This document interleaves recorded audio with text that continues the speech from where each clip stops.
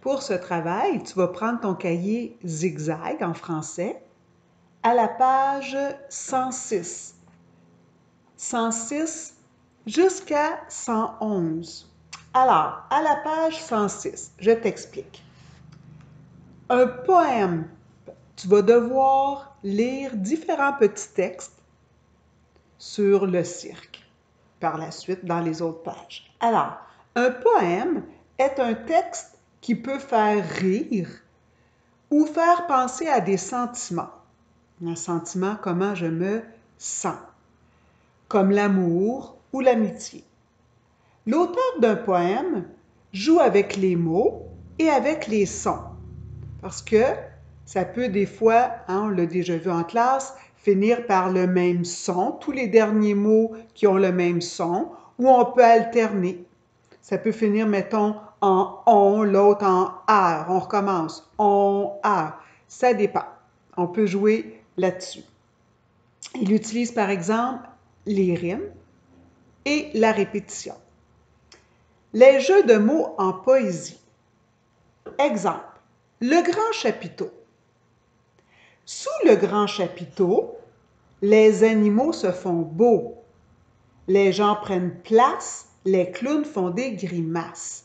Donc, si tu vois les deux premières lignes, les deux premières lignes, on appelle ça des vers. Chaque ligne de poème s'appelle un vers. Souvent, un vers commence par une lettre majuscule. Là, tu vas dire, ben, il n'y a pas de point. C'est pas grave. On peut se permettre ça dans un poème, de commencer toutes nos phrases avec des majuscules, même s'il n'y a pas de point. On peut mettre des fois des points, des virgules, des points d'exclamation, des points d'interrogation, ça dépend. Donc ici, on voit que les deux, premiers vers, ça se termine en O. Et les deux autres, ça se termine as. Donc, ces quatre vers-là, ces quatre lignes-là, les quatre vers, dans ce premier paragraphe-là, on appelle ça une strophe. Deuxième strophe. Sous le grand chapiteau, tu vois, il y a une répétition de premier, du premier vers de la première strophe. Le dompteur met son chapeau, le jongleur prend ses balles, le trapéziste s'installe. Alors ici, le paragraphe, on appelle ça une strophe. Un poème est généralement divisé en plusieurs strophes. Le plus souvent, une strophe contient plusieurs vers. Alors ici encore, dans notre deuxième strophe, nos deux premiers vers se terminent en O et les deux autres en AL. Donc, il y a une répétition de O et ensuite de AL. Dernière strophe. Sous le grand chapiteau, que le cirque commence. Donc, on voit ici dans les trois strophes, il y a une répétition sous le grand chapiteau, sous le grand chapiteau, sous le grand chapiteau. Dans un poème, l'auteur peut répéter certains mots pour attirer l'attention sur eux. Dans l'exemple, l'auteur répète trois fois sous le grand chapiteau. Et si on regarde les rimes, dans un poème, l'auteur peut répéter un son à la fin des vers. Dans l'exemple, l'auteur fait rimer chapiteau avec beau et chapeau, place avec grimace, balle avec s'installe. Alors, à la page 107, c'est écrit Lis les textes pour entrer dans l'univers de la poésie et du cirque. Vive le cirque! Le premier texte que tu vas avoir à lire s'intitule Le nez du lion. On tourne la page. Tu vas à la page 108. Ton deuxième texte que tu vas devoir lire, ça s'appelle La trapéziste. À la page 109, Suspendre, en suspension. En dessous, tu en as un autre. Colonne humaine. Et c'est tout. Donc, ce sont les textes que tu dois lire pour aller répondre à la page 110-111 à tes questions. Donc, numéro 1, Je t'explique. Écris le nombre de vers, oublie pas, hein, ce sont tes lignes, et de strophes, tes paragraphes, que contient chaque poème que tu viens de lire. Donc, nombre de vers, nombre de strophes, donc tu écris des chiffres. Le nez du lion, le texte La trapéziste, suspens en suspension et colonne humaine. 2. Relis chaque phrase à la bonne partie du poème Le nez du lion. Donc, les trois phrases que l'on voit, A, B, C, sont des phrases dans le texte, dans le poème Le nez du lion.